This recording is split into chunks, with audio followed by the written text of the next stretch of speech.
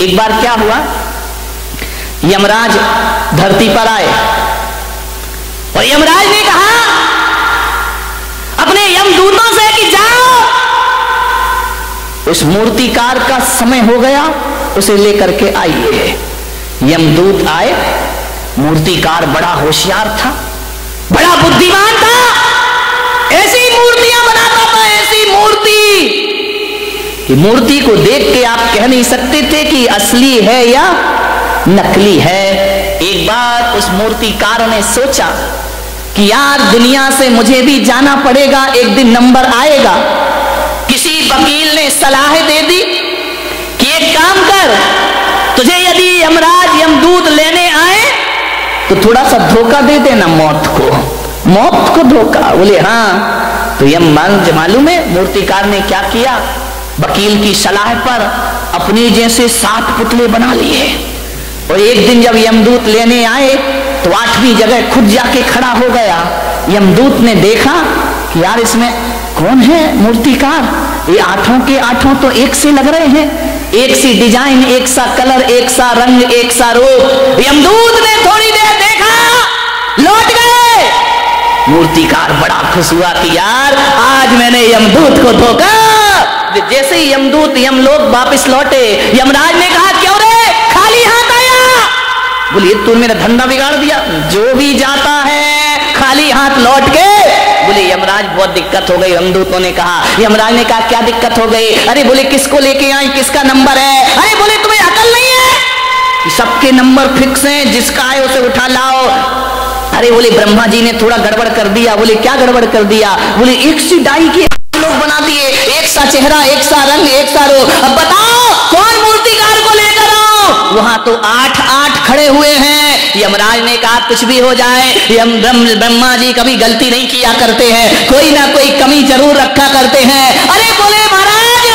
वहाँ कोई कमी नहीं है। आठों के आठों बिल्कुल एक से दिखाई दे रहे हैं। हमने एक घंटा देखा, लेकिन समझ नहीं पाए कि असली मूर्तिकार है।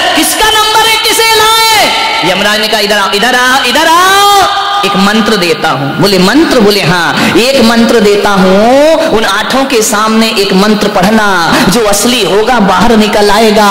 ज़्यादा समय नहीं लगेगा। इंसान कितनी भी चालाकी कर ले, हमसे ज़्यादा चालाक। नहीं, यमदूत फिर आए। मूर्तिकार को पता चला कि फिर कोई लेने आ रहा है। फिर जाके मूर्ति के बाजू में खड़ा हो गया। यमदूतों ने कहा, वाह! क्या ब्रह्मा जी तुम्हारी कला है? गजब हो गया! एक से आठ आदमी। कितना सुंदर ये पुतले बने हुए हैं। कितने सुंदर लोग खड़े हैं। वाह रे भगवान! क्या तेरा चमत्कार है?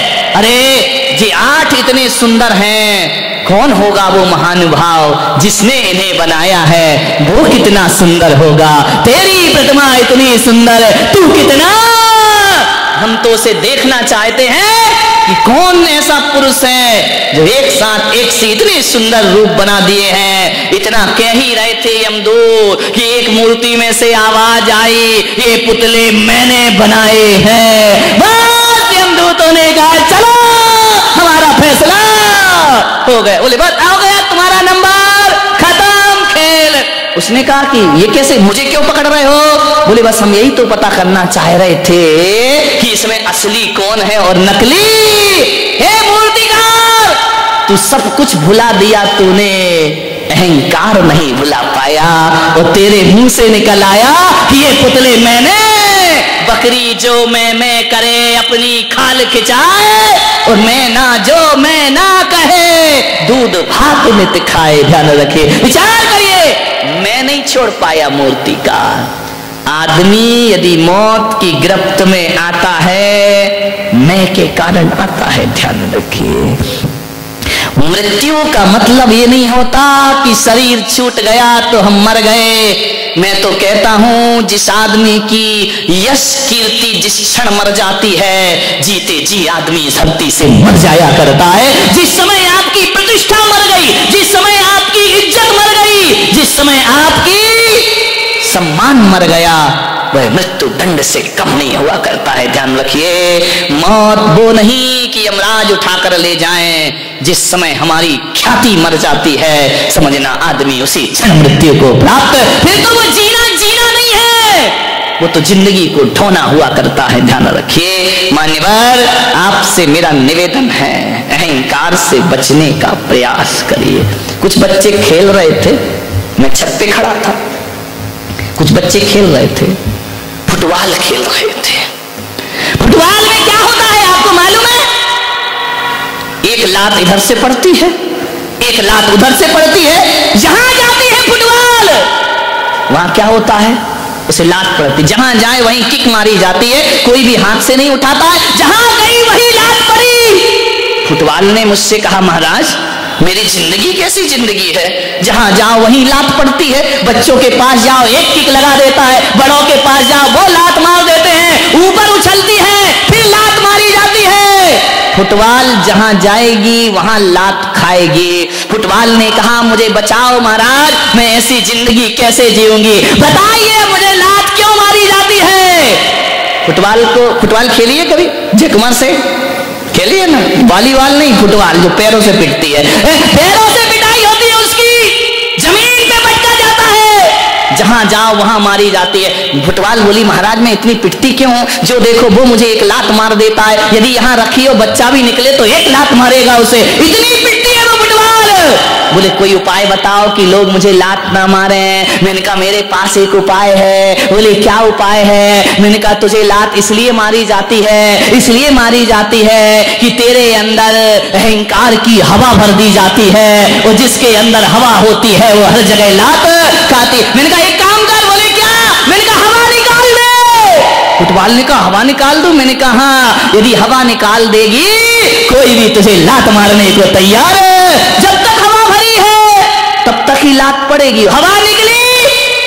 इंसान, बात फुटबॉल की नहीं। बात तो हमारी ज़िंदगी की है। जब तक अहंकार की हवा भरी है, घर में भी लात पड़ेगी, समाज में भी लात पड़ेगी। जहाँ चला जाएगा अहंकारी व्यक्ति, वहाँ उसे लात पड़ने के अलावा कुछ होने वाला तेरे की सम्मान की हवा भरेगा तो अपमान तो होगा ही होगा, ध्यान रखिए। अरे सम्मान की हवा निकाल दे, अपमान होना अपने आप बंद। बताओ, जिस फुटबॉल की हवा निकल गई, उसे कोई लात मारता है? बोलिए, लात मारते हैं क्या?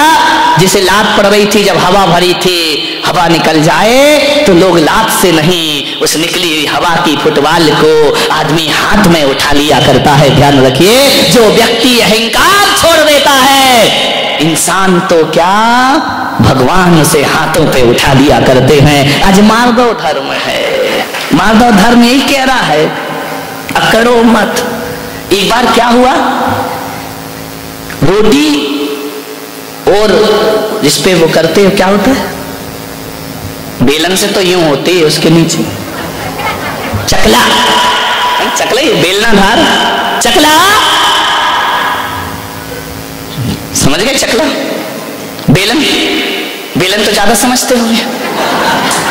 उपयोग जल्दी होता है। एक महिला ने, एक महिला से बाजू वाली की महिला बेलन मांगने आई। बोले, बेलन देना बहन, अपना बेलन दे दे। उसने कहा, क्यों? बोले, पति आ रहे हैं। उसने कहा, जल्दी लौटाना बोले, क्यों? बोले, मेरे भी आ रहे हैं। ध्यान रखिए, मान्यवर। रोटी बेली जा रही है। बेलन और चकले सी होती है, उसको जब मालूम है ना कि अब रोटी मंगाऊ यहीं पे। उसको जब बेलन गोल गोल बेलता है तो रोटी बड़ी हो जाती है। और जैसे ही रोटी बड़ी हुई, रोटी ने कहा है चकले भाई, ओ चकले टकले, और ओ बेलन, बोले, क्या? बोले, मुझे दे। तू उतना का उतना ही है, मैं कितनी बड़ी हो गई? तेरे हाथों में खेली इतनी बड़ी हो गई। चकले के बराबर हो गई। कितनी बड़ी हो गई मैं? मैं बहुत बड़ी हो गई। बेलन ने कहा तो बड़ी हो गई तो इतनी अकड़ काय को रही है। बड़ी तो हमारी वजह से हुई। अरे बोले वजह कुछ भी हो। मैं दुनिया में सबसे बड़ी हो गई। बेलन ने कहा, ए रोटी, ज़्यादा मत अकड़। ये जो तू बड़ी बनी है ना, इसकी कीमत चुकाना पड़ेगी। बोले क्या कीमत चुकाना पड़ेगी? बोले, देख, अब जैसे ही बड़ी हुई है, ये महिला तुझे हाथों में लेगी और लेने के बाद गरम गरम तवे पर डाल देगी। अरे बोले डाल देगी तो मज़ा आ जाएगा। बोले, क्या मज़ा आएगा? बोले, मैं फूल के और बड़ी हो जाऊँगी। अब उसमें गैस भरेगी, सिकेगी और ऐसा मुँह फूल गया जैसे महिलाओं का फूल जाता है। रोटी फूल गई मत कर। तेरी जैसी कई रोटियाँ मैंने देखी, असंख्यात रोटी मेरे जीवन में आई। बोले, क्या हुआ? बोले, जब तू बड़ी बनती है, तुझे तवे पे डाला जाता है, तू और अहंकार में फूलती है। जब अहंकार फूलता है तो तुझे मालूम है क्या होता है? बोले, नहीं मालूम क्या होगा? बोले, मालूम कर ले, होगा ये, तेरे टुकड़े टुकड़े करके थाली में परोस दिया जाएगा।